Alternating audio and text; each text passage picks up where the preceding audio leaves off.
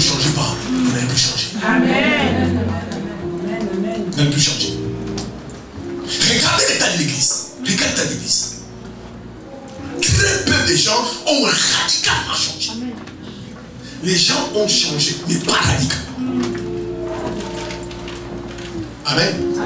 Quand vous regardez la vie de l'apôtre Pierre, il passe des pécheurs d'hommes, pécheurs des poissons aux pécheurs d'hommes.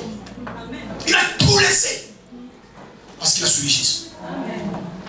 À l'époque de Pierre, être un pêcheur avec ses bateaux, il était quelqu'un de riche. Matthieu a abandonné les finances, les péages pour suivre Jésus. Aujourd'hui, très peu de gens dans l'église ont changé. Les gens sont dans les maquillages. Ils ont une vie à l'église, une autre vie dehors. Et beaucoup de gens comme ça.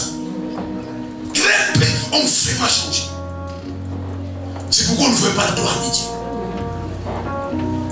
Quand Paul a changé, Paul a dit, c'est plus moi qui vis, c'est Christ qui vient en moi. C'est pourquoi on voit les gens avec double vie. Frère, nous devons changer. C'est pourquoi, bien aimé, aujourd'hui, l'église n'est pas un témoin. Certaines personnes, quand ils voient la vie des chrétiens, ils n'ont pas envie de devenir chrétiens. Parce qu'ils regardent notre vie. Le monde fait ceci, nous faisons la même chose, la même chose. Le monde dit ceci, nous disons la même chose. Le monde s'habille comme ça. Parce qu'il n'y a pas de changement. Alléluia. Et je vais vous montrer les principes qui vont vous amener à changer. Si nous viendrons à l'église, Alléluia, nous allons crier Jésus, crier Jésus. Mais quand nous serons dehors, les gens n'ont pas envie d'être comme nous. Amen. N'ont pas envie. Amen. Parce que très peu de gens bien aimés, ceux qui nous côtoient, nos membres de famille, ils ont compris qu'on n'a pas changé. Et nous verrons l'église. Et ils ne comprennent pas pourquoi on les demande de changer, alors qu'ils voient nous-mêmes, ils voient qu'on n'a pas changé. C'est pourquoi ils ne changent pas. Et c'est malheureux pour l'église. C'est malheureux pour l'église. Et dans tous les niveaux, les gens qui sont à l'église n'ont pas changé. Alors, bien aimé, quand tu reçois le Christ, Alléluia, tu dois changer. Amen. Tu dois changer. Une nouvelle vie doit commencer. Amen. Amen. Vraiment, venez écouter ces enseignements-là pour votre vie. Si vous voulez que votre vie change, vous avez besoin de la parole de Dieu. Amen. On acclame le Seigneur.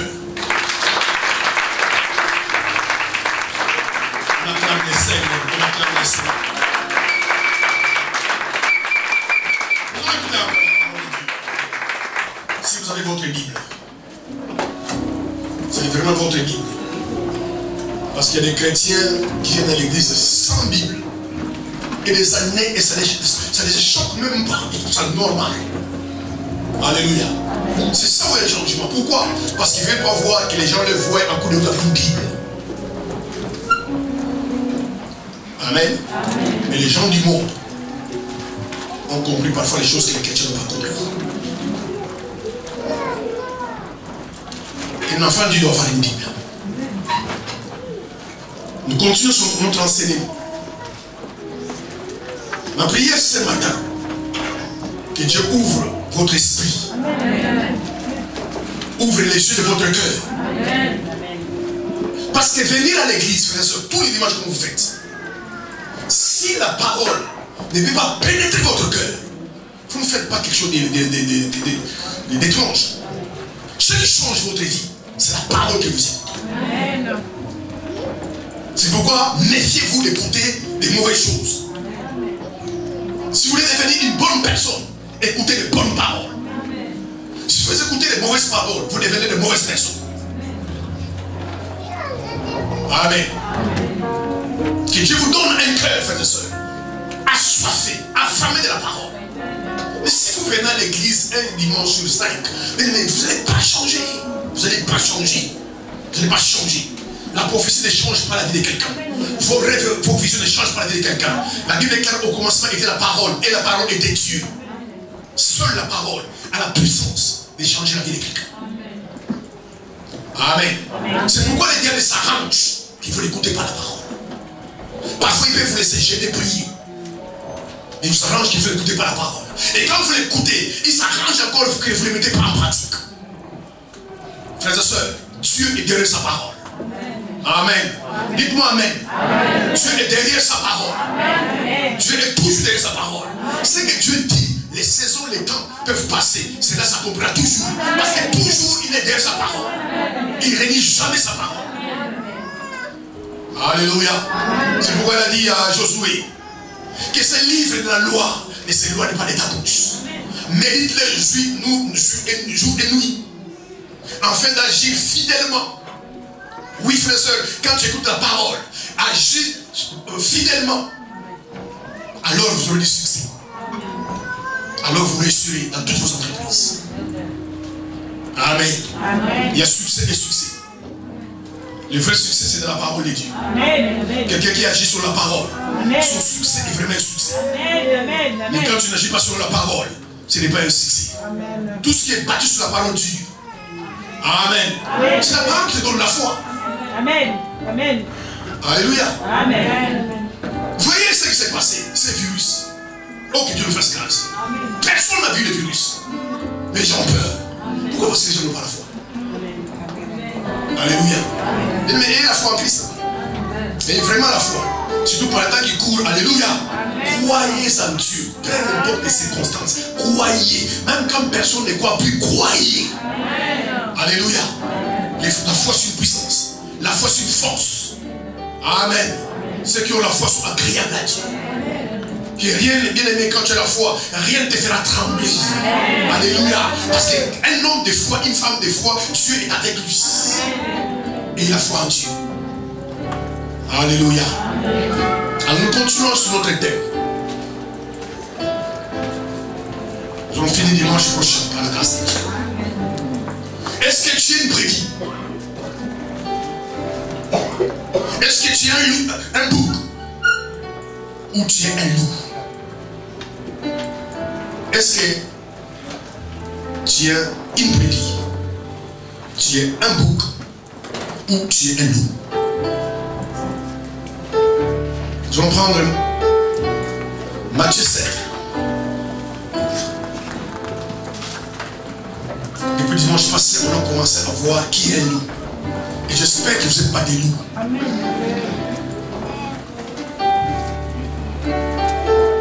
Matthieu 7,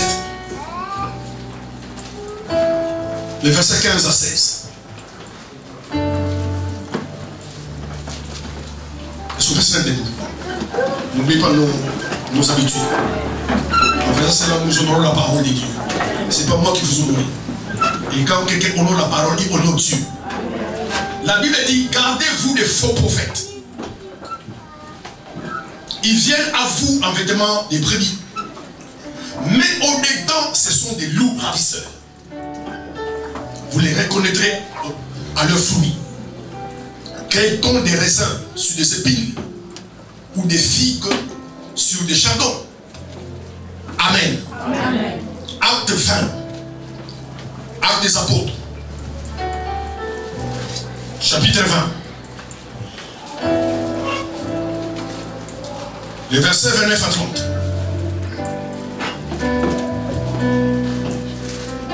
Livre des actes des apôtres. Chapitre 20 les versets 29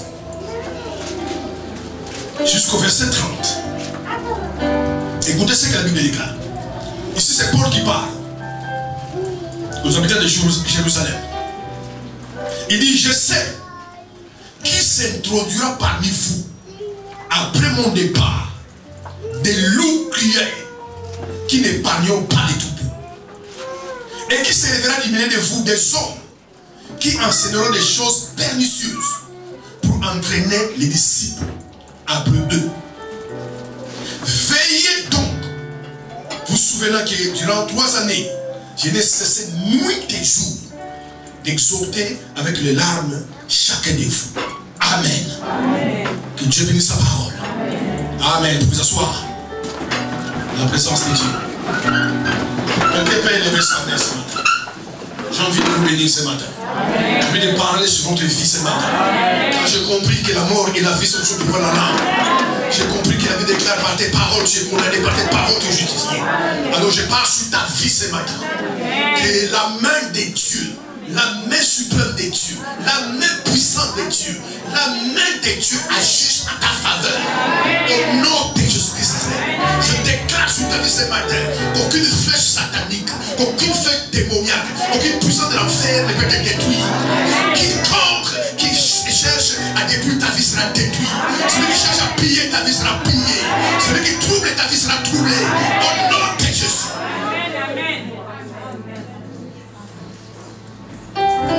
Tu déclares ce matin sur ta vie.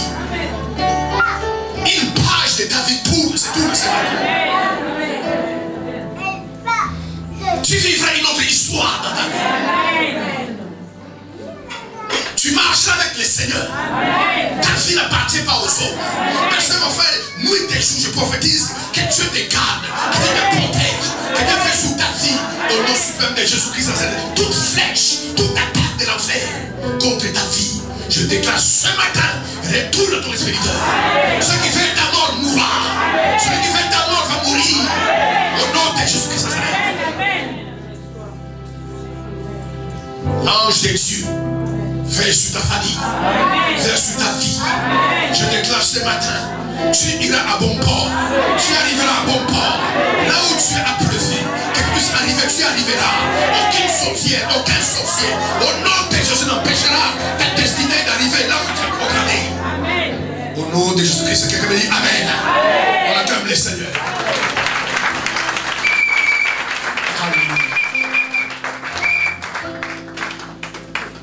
Bien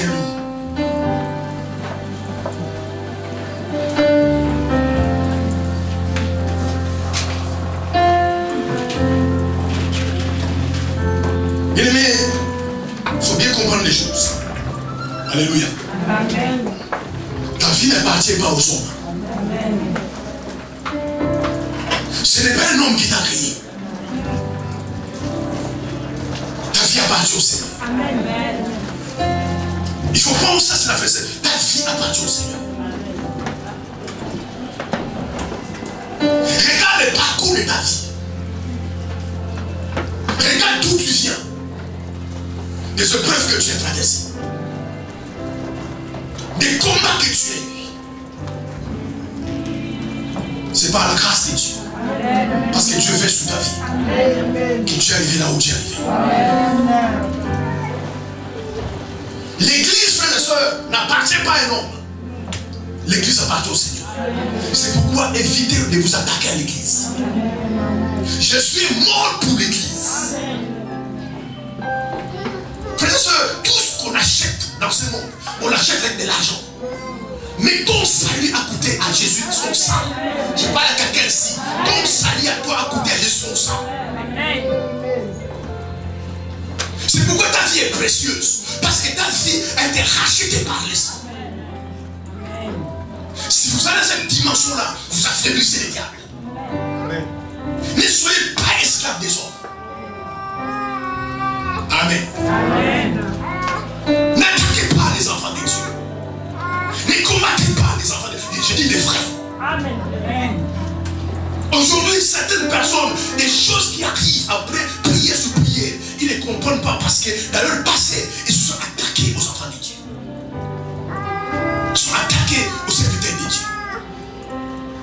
Amen. Et dans les pâturages du Seigneur, parce que nous sommes, la Bible déclare, nous sommes les troupeaux de son pâturage. Dans son pâturage, il y a des brebis, il y a des boucs. Mais d'où viennent les loups? Les loups, c'est simplement infiltrés parmi les troupeaux de, de- de Dieu. Dans le but de détruire les brebis. Les loups ressemblent à un chien. Mais le chien n'est pas un loup. Alléluia. Et le loup n'est pas un chien. Parce qu'un chien peut être la compagnie des nobles, l'ami des nobles. Mais le loup, c'est un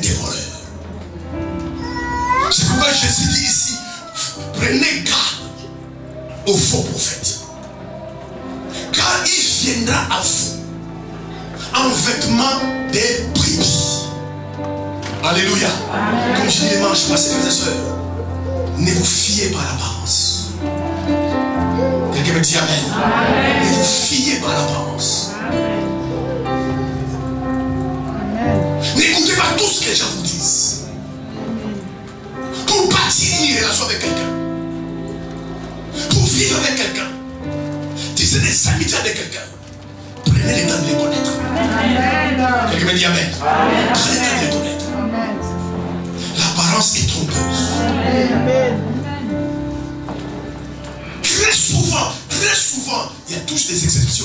Mais la plupart des hommes sur la terre sont hypocrites. Ce que vous voyez qui vous présentent, ce n'est pas leur vrai, leur vrai visage. Alléluia. Très peu de gens sont honnêtes. Très peu de gens, quand vous voyez, ils présentent les vrais visages. Très souvent, les gens sont hypocrites. C'est pour cela, bien aimé, ne jugez pas les gens par rapport à leurs paroles. Jugez-le par rapport à leurs actes. Quelqu'un m'a dit Amen. Sinon, vous serez déçus. Bien aimé, tout ce que vous voyez sous la terre, Alléluia, n'est pas nouveau. Quelqu'un m'a dit Amen? Salomon disait, il n'y a rien de nouveau sous le soleil. Même au temps de Jésus, il y avait des faux prophètes. C'est pourquoi moi je ne me plains pas qu'il y ait des faux prophètes. Je ne me plains jamais qu'il y ait des faux pasteurs. Je ne me plains pas qu'il y ait des faux chrétiens. Parce qu'il faut que la parole s'accomplisse. Mais Jésus prévenait son peuple. Il dit Cela veut dire faites attention. Méfiez-vous des faux prophètes. Frère, ma soeur, ils viennent en vous en habit de brebis. Mais au-dedans, ce sont des loups ravisseurs. Alléluia. Combien de gens pleurent aujourd'hui?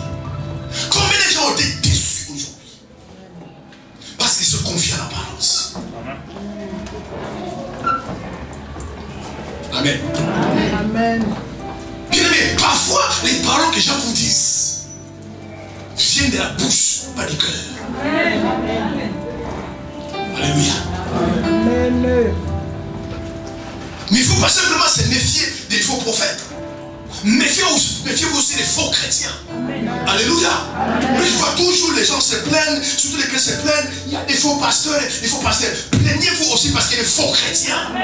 Il y a des frères qui sont des faux. Il y a des soeurs qui sont des fausses. Amen. Les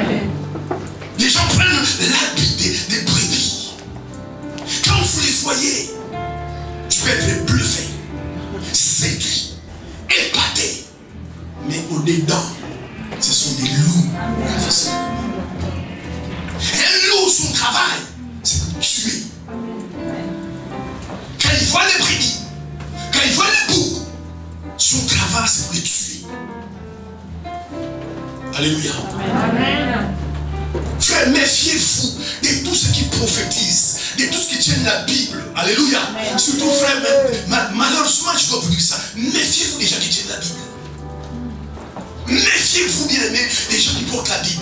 Méfiez-vous des gens qui parlent toujours des dieux. de- Méfiez-vous ces gens-là. Méfiez-vous. Cherchez à regarder leurs actes. Cherchez à savoir qui ils sont bien aimés. C'est pas l'image passée, je vous ai dit, frère. Alléluia. Il vous faut le Saint-Esprit. Amen. Quelqu'un dit Amen. Il faut le Saint-Esprit. Amen. Soyez dirigés par le Saint-Esprit. Soyez conduits par le Saint-Esprit. Amen. Parce que quand tu es conduit par le Saint-Esprit, tu peux discerner les choses. Alléluia. Bien aimé, tout ce qui brille n'est pas de l'or.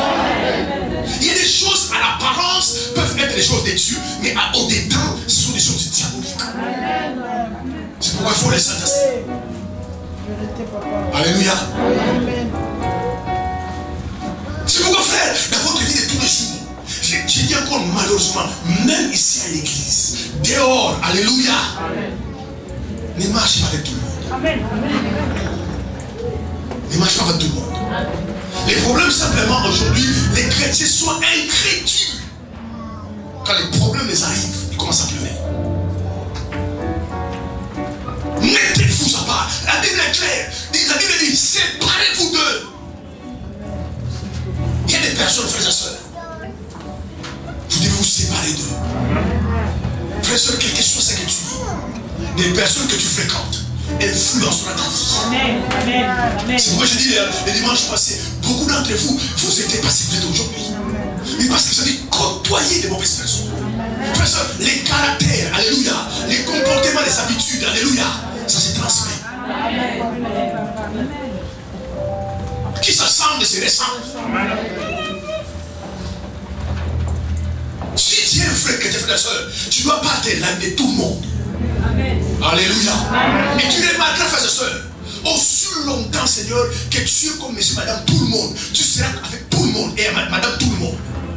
Mais lorsque tu vas commencer à marcher le Seigneur, tu seras seul. Les vrais chrétiens sont souvent seuls. Dites-moi Amen. Les, les vrais chrétiens sont souvent seuls. Les vrais serviteurs sont souvent seuls. Les vrais chrétiens sont des chrétiens de la race des aigles. Un aigle est souvent seul. L'aigle vole seul. Quelqu'un me dit Amen. Faites attention, frères et que les gens empoisonnent votre vie. Votre vie est précieuse. Parce que beaucoup d'entre vous, Dieu compte sur vous. Il y a des choses que Dieu doit accomplir sur la terre, il doit les faire sur vous. C'est pourquoi il vous met à part. Il ne voulait pas comprendre. Qui frères et sœurs. Alléluia. Ne se mélange pas. Choisissez vos amis. Amen. Ce n'est pas aux amis de vous choisir. C'est à toi de choisir les amis. C'est pas la même chose. Quelqu'un que tu ne veux pas qu'il soit ton ami, il ne sera jamais ton ami. Choisis frères et sœurs, des personnes qui sont des bonnes personnes. Qu'elles soient à côté de vous, ils influencent votre vie. Dans le bon sens. Alléluia. Parfois j'ai mal de l'église. Vous traînez avec tout le monde. Vous, vous êtes avec tout le monde. Si vous lisez votre Bible, Jésus était toujours avec ses disciples. Et son ami qui déclare la Bible, c'était Lazare. S'il n'est pas avec Lazare et ses disciples, il était sur la montagne en train de prier. Aujourd'hui, au nom de l'amour, Alléluia, oh, il faut aller partout. Frère, sœur, tu ne dois, tu dois pas aller partout. C'est pourquoi j'ai compris, beaucoup de chrétiens ne changent pas. Ma soeur, mon frère, écoutez-moi. Aussi longtemps tu vas garder des gens que tu connais qui sont autour de toi, tu ne changeras pas. Amen. Amen. Amen. Continue à les garder. Continue à les garder. Gens qui sont autour de toi, que tu connais et qui sont mauvais, tu sais qu'ils sont mauvais. Continue à les garder. Tu ne vas pas percer spirituellement. Amen. Amen. Amen. Tu ne vas jamais percer. Jamais tu vas percer. C'est pourquoi ta vie chrétienne est comme ça. À cause des gens qui vous entourent, qui ne connaissent pas Dieu, qui n'ont pas l'esprit de Dieu. Mais vous voulez